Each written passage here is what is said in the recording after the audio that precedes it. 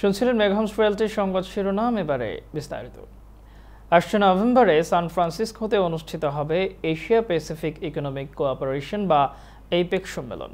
আর এই সম্মেলনকে কেন্দ্র করে জো বাইডেন ও চীনের প্রেসিডেন্ট শি জিনপিং এর মুখোমুখি বৈঠকের প্রস্তুতি নিতে শুরু করেছে হোয়াইট হাউস।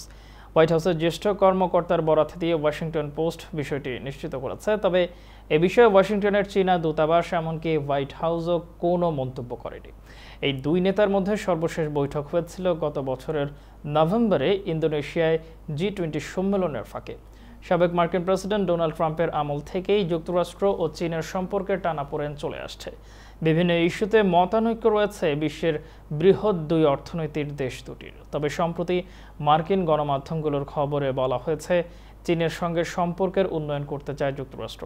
এরপরই শি জিনপিংয়ের সঙ্গে বাইডেনের সম্ভাব্য বৈঠকের বিষয়টি সামনে এলো।